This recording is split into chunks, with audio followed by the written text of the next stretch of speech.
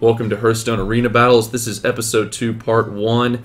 If you do not want to see the draft, go ahead and click in the annotation or look in the description below and I'll tell you the time to skip to.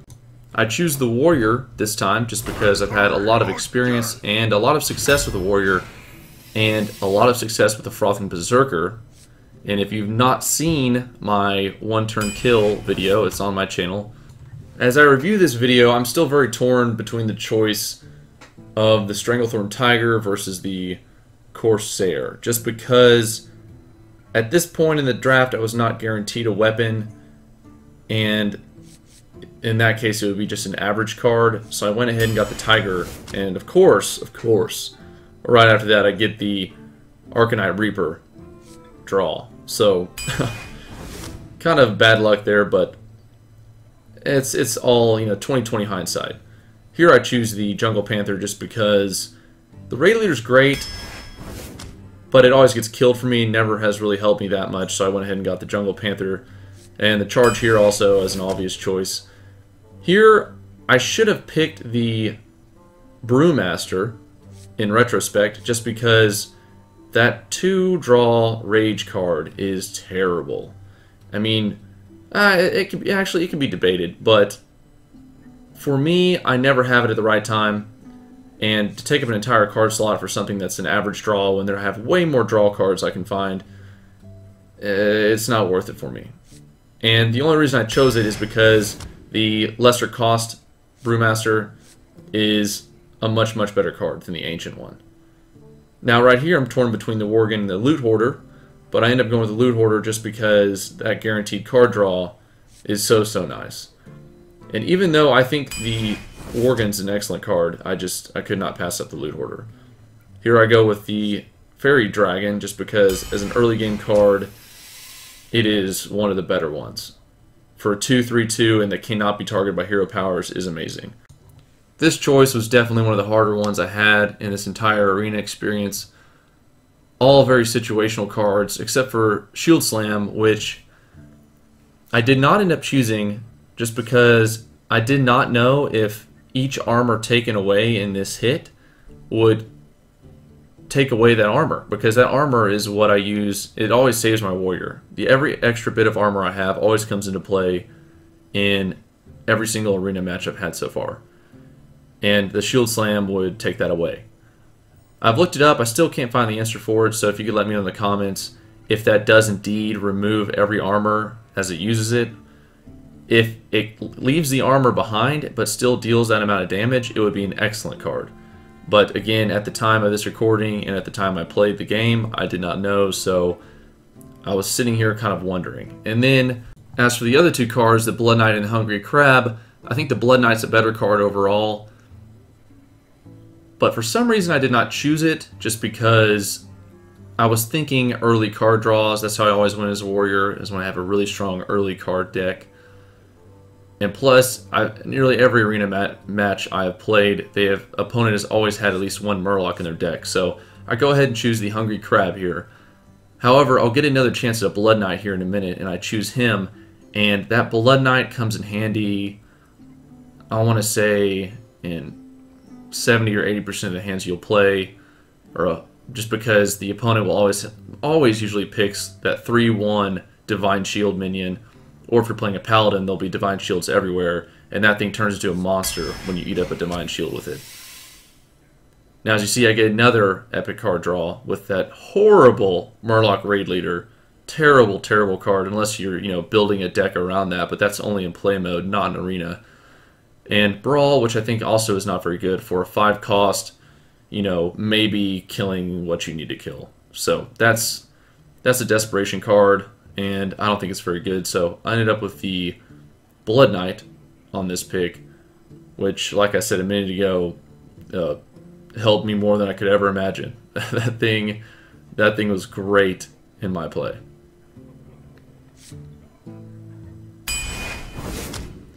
Then next, uh, I should have gone with the 5 armor card draw. Not sure why I didn't. I ended up going with the Charge Murloc just because early game deck. And especially since I already had a weapon, I should have really considered getting the the 5 armor plus the card draw. And as you'll see later on, I end up getting a lot more weapons, and so that would have been even more helpful. And of course, the Cult Master here, one of the Arathi Weaponsmith. Uh, glad in the end I did not go with that, just because of the rest of the cards that I'll get. And here I basically have three healing cards. I I'm still aiming for that early deck play, so I get the 3 for 3-3 heal. And then on the next one, I choose the Harvest Golem, just one of the more versatile cards you'll have. Then here's that Divine Shield minion I was telling you about that nearly everyone picks, which is great for that Blood Knight. And then my early game Taunt is really torn against that, but Execute has come in handy in every single arena match I've ever played. So I went with that for more of a late, late game big minion uh, killer. Now I hate this Tauren Taunt and Rage just because it's so weak and creatures are forced to attack it and it's really only good if you happen to draw it in the very, very beginning of the game. And even then, it's not the best card. And then for that, I go with the uh, 3 damage to the hero, just because it's real nice. Pick that one for a lot of cards, or a lot of minions. And then the Argent Defender, which is, or Defender of Argus, excuse me, is one of my favorite cards in the game. Excellent, excellent card. Now, I get the Mercenary, just because it's, I mean, it's obvious. It's just been a proven great card. Rampage, one of the more uh, extremely powerful warrior card. Alarm Bot wasn't really necessary here just because I have no big creatures, so I get the Armor Smith. It's like a taunt, basically. Slam, great card draw. Gurubashi Berserker, can't go wrong with that. And then I wanted another Slam, but at this point I only had one weapon. It was kind of an in-game weapon, and the Fiery War Axe is, in my opinion, one of the more powerful uh, early game warrior cards just because if you get it right in the beginning, you equip that thing and you pretty much deny the board. Then I get the charge, just because it's great. And then another one of those dang rage cards that, in retrospect, I don't know why I even considered those cards. I really do not like them that much. And I think I'll go with the Berserker here. Yes, I do. And of course, the Silence. I don't have a Silence yet, so that glad that dropped. And then Gorehowl, along with, again, the Shield Slam that I'm still torn about. Don't know if that's good or not. And the terrible, terrible, terrible uh, Murloc War Leader. Terrible. Unless, of course, you're building a deck. And Gorehowl, oh man, that card. It'll save me a couple times, as you will see. And when you kill minions with it, it only reduces the damage by one instead of removing the X completely. So, time for arena battle number one. We get a hunter for our very, very first game. And an excellent starting hand. Not too bad. Don't need the Arcanite Reaper, more of a late game, along with Execute, so I keep the Frothing Berserker and the Fiery War Axe. And I get the uh, Defender of Argus, which is incredible. And uh, the not so great uh, for this time period, early in the game, that five, five cost card. Hungry Crab, another good early game card, especially they play a Murloc, which I was hoping they would.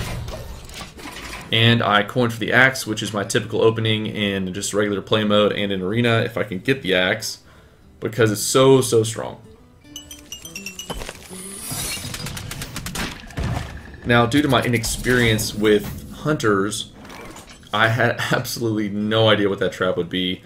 I thought maybe it could be a serpent trap or an explosive trap or whatever it was. I really had no idea. I just very, very inexperienced when it comes to hunters.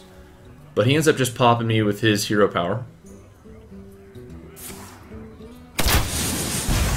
Which is no big deal.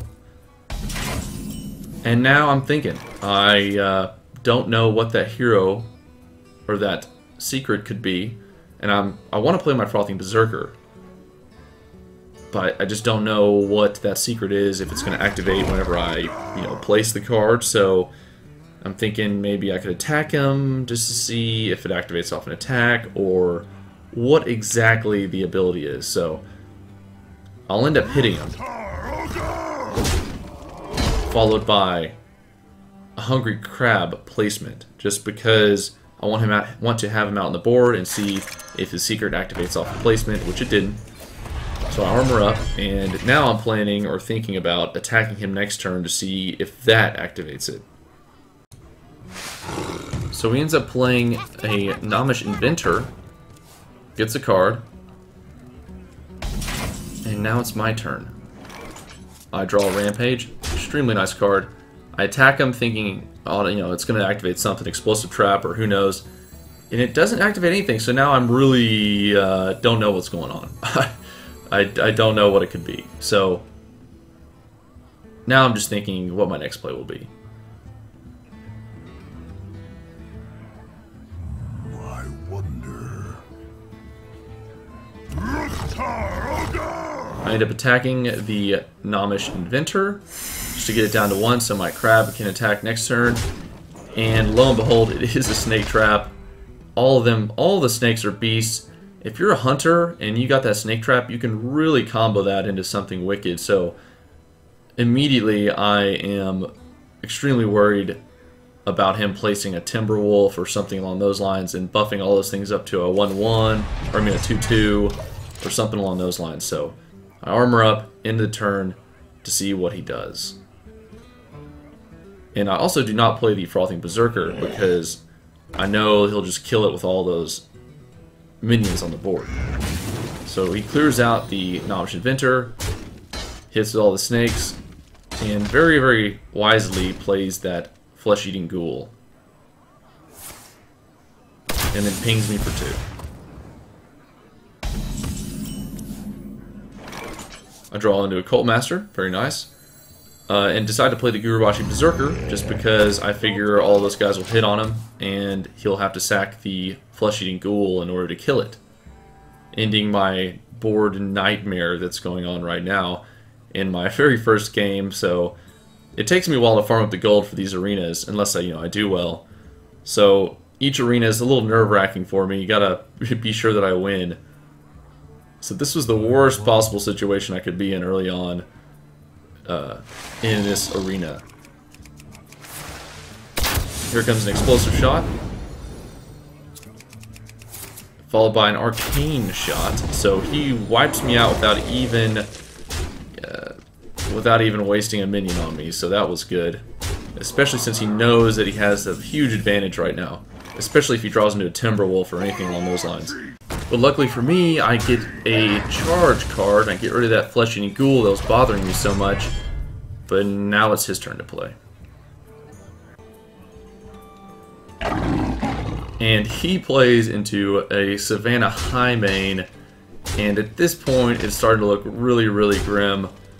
Not only do I have to somehow get a creature on the board to deal with that Highmane, but when he dies, he's going to spawn two more beasts, and now especially if he draws into any sort of beast buff or a hyena or anything along those lines, I am finished.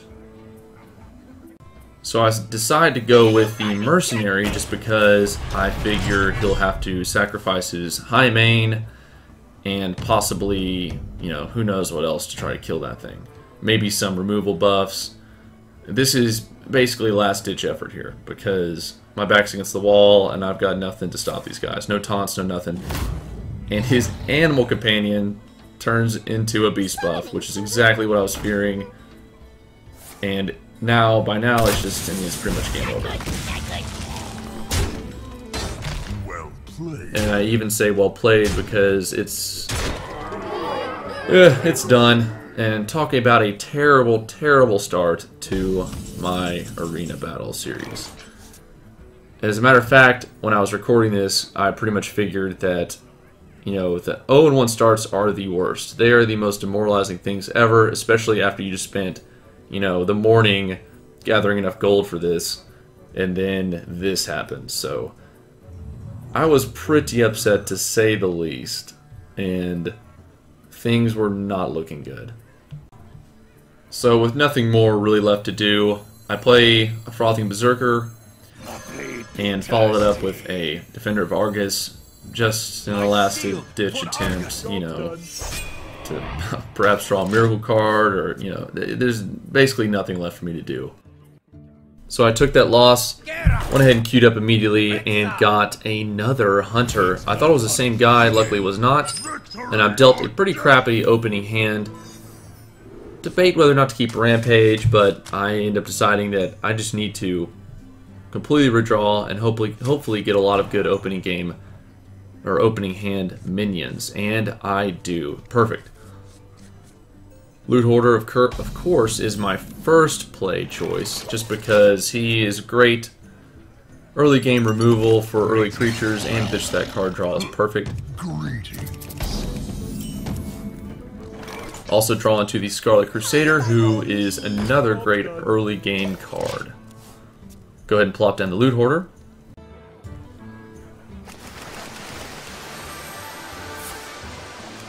He plays the coin card.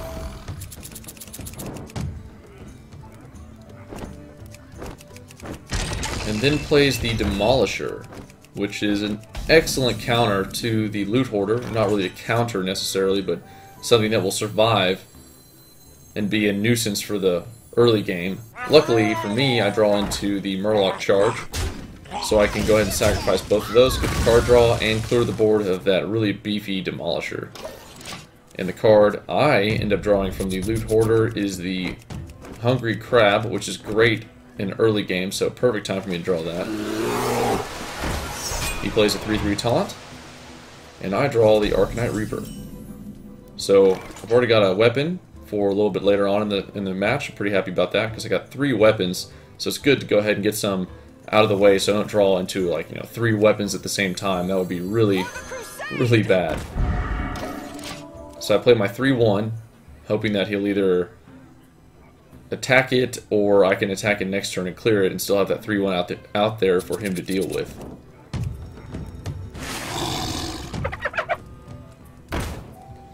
Plays a Scavenging Hyena, followed by Direwolf Alpha. Very good play.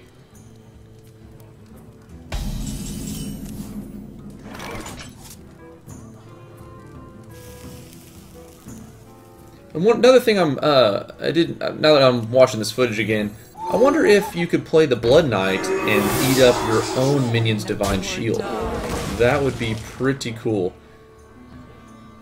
Definitely going to look that up after this. But I end up silencing the Scavenging Hyena, killing off that taunt, and playing a 3-2 Fairy Dragon, which he cannot kill with his hero power, which, I mean, he couldn't anyway, but... Good card nonetheless, pretty beefy. That puts three minions out there for him to deal with. He plays an anim animal companion and ends up getting the best possible run for the scenario right now. Unlucky for me, but good for him. Now again, I'm thinking, oh god, here comes the hunter, you know, wrath. I'm gonna get killed by this guy, whom I'm still thinking is the guy from last time, but it's not. Draw into a frothing berserker, which would be really nice. So I go ahead and play the Frothing Berserker.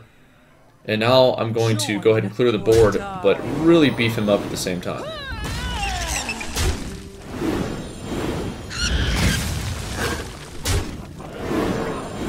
Now all he has left is that worthless Scavenging Hyena. It's just a 2-2 minion because of the silence. I'll go ahead and play the Blood Knight as well, just to give extra uh, beef on the board, so he has to contend with two creatures now, both relatively strong early game.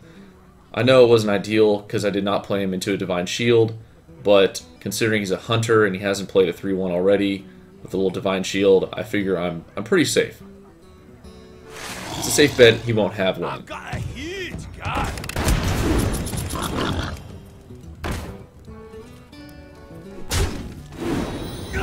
So he clears out the Frothing Berserker, and sends the boar in to attack me. Now I draw a Rampage, so that's that's another great card to have right now. For Lor'themar! Sacrifice the Blood Knight.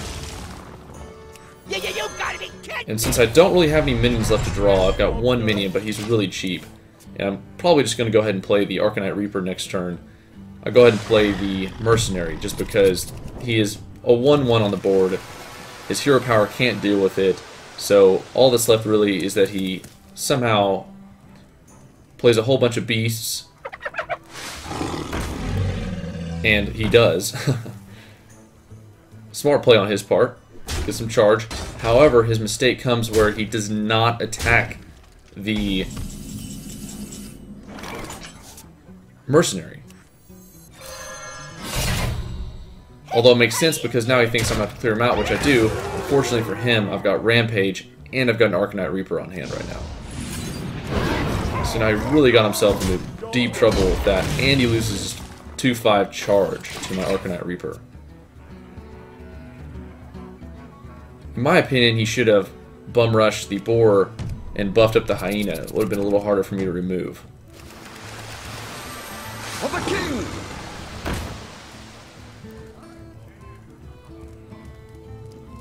You call that a weapon?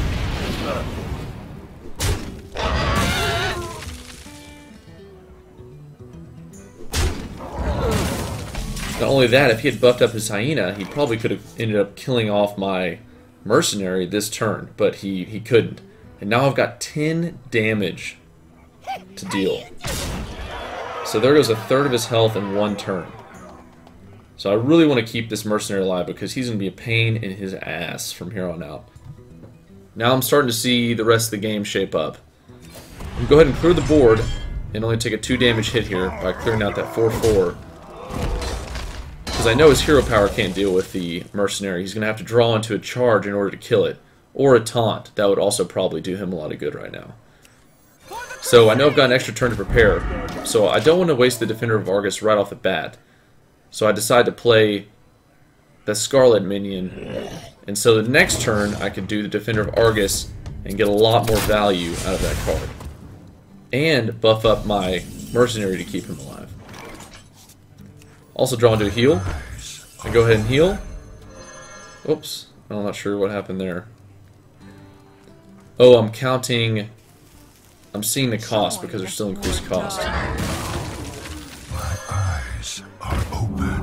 Go ahead and heal. Attack. It's another third of his health gone. Can't play the Defender of Argus. But he has no cards. And I've healed the minion, so he should be safe.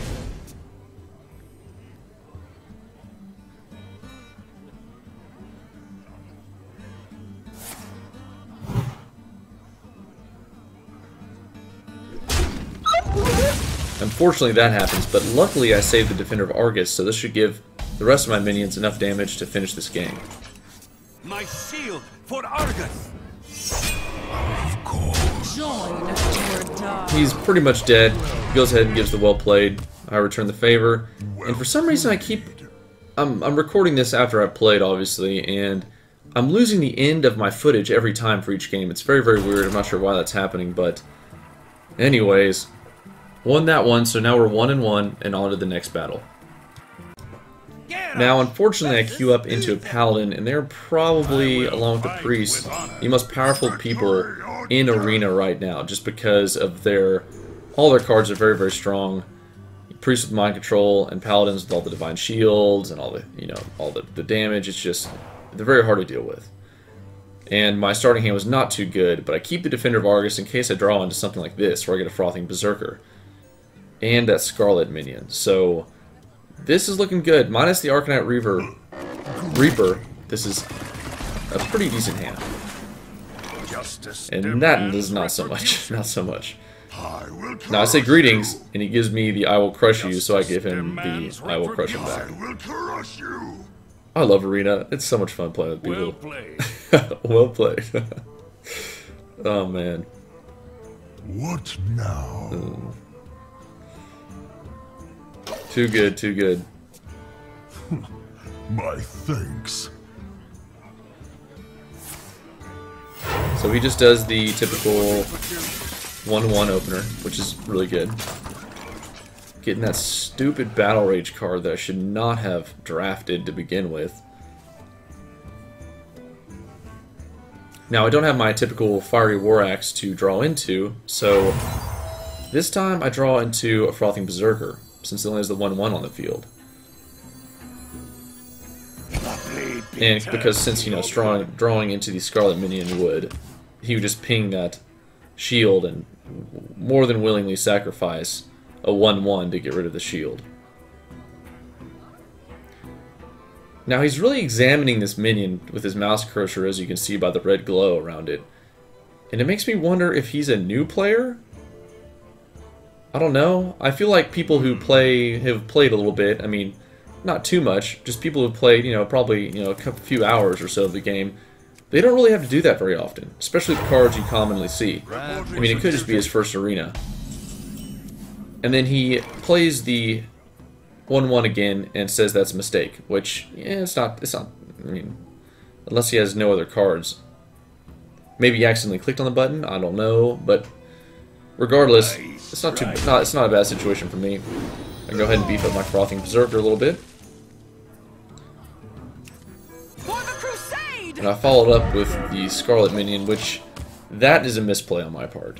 Because now he's just going to ping that shield with this 1-1, and which is a great trade. Major misplay on my part. I was just thinking of the Argent, uh, the Defender of Argus, and it kind of clouded my judgment there. I just wanted the two minions so I get the best value out of it, but don't think it's worth sacrificing the Divine Shield on that minion for that reason. Although when I play the Defender of Argus, it will turn into a 3-2, so still not beefy, or a 4-2, still not beefy, but better than just the 3-1.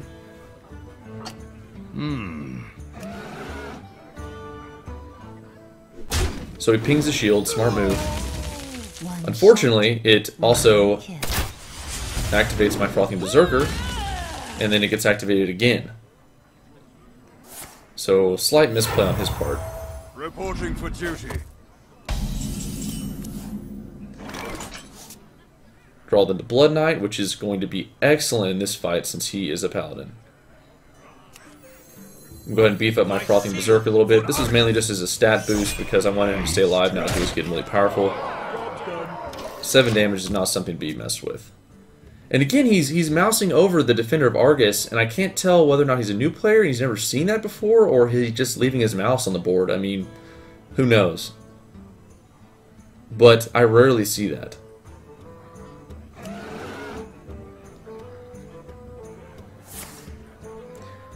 Consecration. Now, typically, that's not the best way to use a consecration, but in his case, he really needs to get rid of my Frothing Berserker. That thing's just going to keep getting stronger and stronger and stronger. And as you can tell from the cards he's playing, he has a bunch of one draw, one damage cards. But he does manage to clear my board, and then threatens me with uh, justice. of course, I threaten him back. Can't let that uh, can't let that happen. And fortunately for me, I have that mercenary still, and there's no way he can deal with that right now. Absolutely no way. Give me a quest. He's got the 1-1 on the board. He plays into the questing and really beefs it up and gives it a divine shield. So now he's trying to bait me into being forced to attack his questing.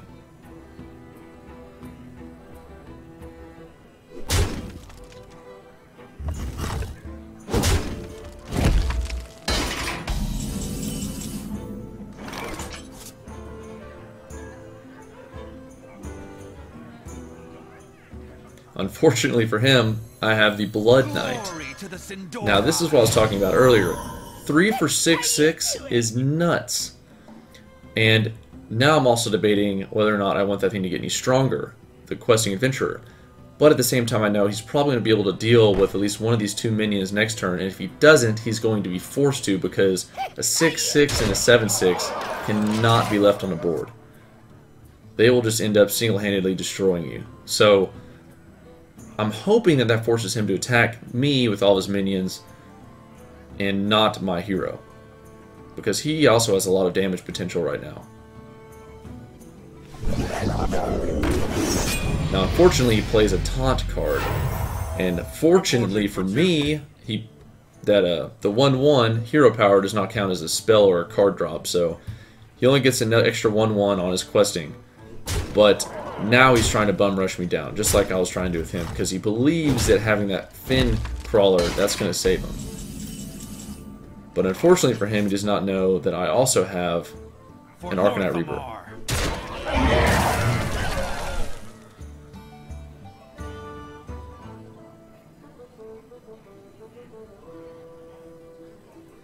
And I know that I cannot keep that questing adventure alive any longer. And the rest of his minions are all so low damage that is definitely worth me killing the questing and taking the 5 damage with the Arcanite Reaper.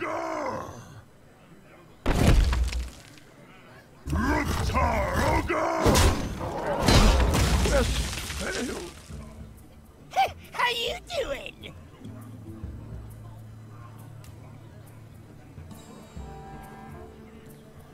Now there's a lot of minions on the board. I know you can buff them with, you know, kings or something along those lines, but I at this point I'm committed to rushing him down just because he's so low on health.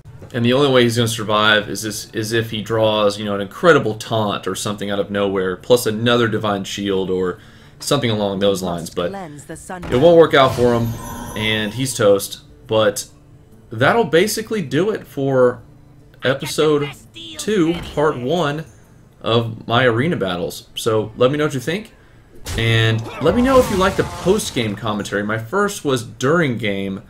I think it might be a little more exciting live, but I am a lot more insightful, I guess, post-game. But anyway, he rage quits out, and I'm two and one. Not the best start, but I'll see you guys for part two. Thanks for watching. Let me know what you think.